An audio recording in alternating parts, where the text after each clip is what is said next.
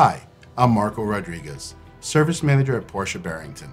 In 2020 and still in 2021, we've all probably experienced not driving as much due to the pandemic.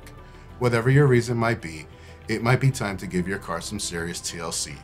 Idle cars can lead to unsafe cars as batteries are still working, even when the car is turned off, therefore causing the battery to lose power prematurely.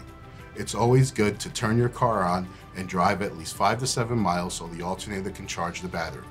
If that is not an option, you could always purchase a trickle charger from any Motor Werks parts department.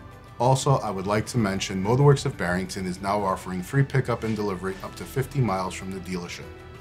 Thank you for watching, and for all your service needs, visit us at Motor Werks of Barrington. Welcome to the circle.